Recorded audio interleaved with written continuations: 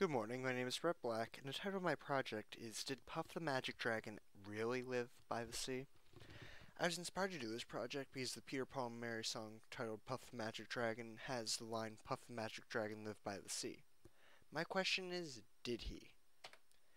So I decided to research the song a bit, and I realized that Puff the Magic Dragon was a figure who came to national attention in 1963.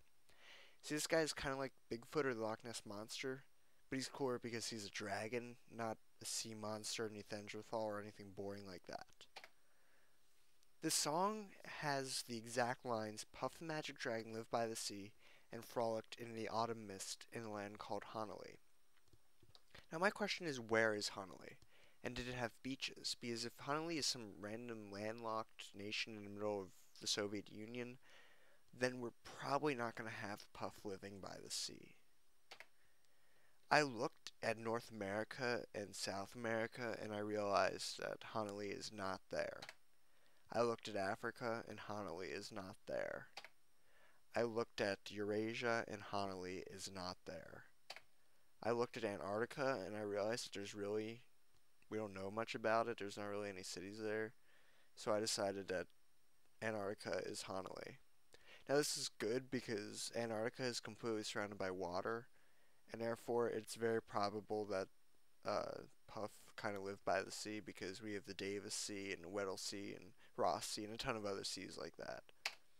So I concluded that Hanalei does have beaches, but that still doesn't tell us did Puff the Magic Dragon live there. So I wanted to research this a bit further. To collect my data, I first gathered materials and then listened to a lot of Peter, Paul, and Mary. I then drove to a random corner in Philly and rolled down my window and I asked passerbyers if Puff the Magic Dragon actually lived by the sea. I then analyzed results and drew conclusions. This is the first guy I interviewed. He was a pretty cool guy. He, I don't know, he said he goes to Drexel or something.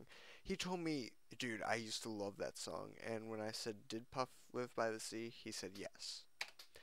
This is the second guy I interviewed, and she wasn't as cool as the first guy. She just screamed at me, stay away from my kids, you creep, and threw a spoon at me.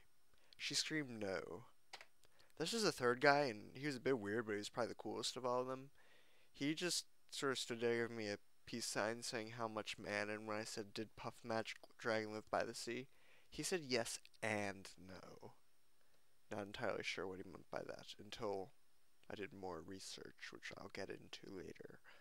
Okay, so this is my data slide, and as you can see, two people said yes and two people said no, which leads me to just one proper conclusion. Puff the Magic Dragon both lived by the sea and didn't live by the sea at the same time. This means that Erwin Schrodinger wrote Puff the Magic Dragon to help support and gain attention to his Schrodinger's cat model. Pretty crazy, right? Thank you for listening. Are there any questions?